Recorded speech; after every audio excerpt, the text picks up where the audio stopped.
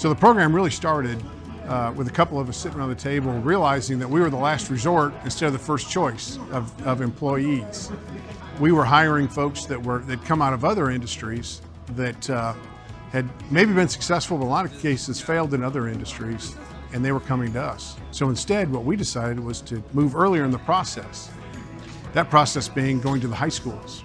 Then we had to figure out the way for us to get kids in, in, interested in our industry so in order to do that, we thought the heavy equipment simulators would really make the most sense. That way they could, quote, play a video game for the day instead of finish concrete or lute asphalt.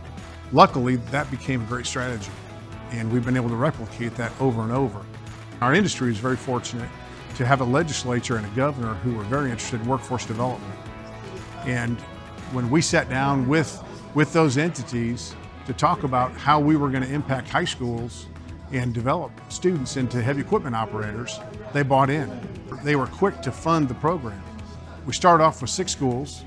We're very successful in the first year with those six schools. We've been very fortunate to have uh, teachers excited about this and to be successful in bringing kids to the program. Last year was the first year that the program got started, the heavy equipment program.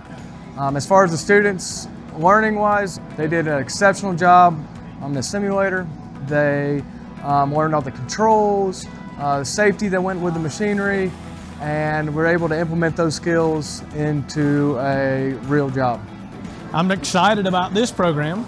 Well, this is going to give them an opportunity to have something field specific that our industry partners are really looking for in dire need of.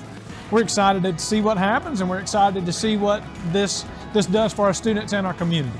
I've grown up working on a farm, uh, running different types of equipment, but this is so realistic. It is, it is unreal. Uh, down to the most minute details, the things that you often take for granted when you're on the farm working a piece of equipment. I mean, I'm super impressed.